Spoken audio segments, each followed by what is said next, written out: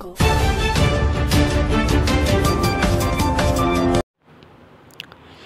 வணக்கம். குழந்தை தொழிலாளர் முறையினை அகற்றுவதற்கான உறுதிமொழி மாவட்ட காவல் கண்காணிப்பாளர் தலைமையில் நடைபெற்றது. இனி விரிவான செய்திகள். அரியலூர் மாவட்ட காவல் அலுவலகத்தில் இன்று மாவட்ட காவல் கண்காணிப்பாளர் ஃபெரோஸ்கான் அப்துல்லா அவர்களின் தலைமையில் குழந்தை தொழிலாளர் முறையினை அகற்றுவதற்கான உறுதிமொழி நடைபெற்றது.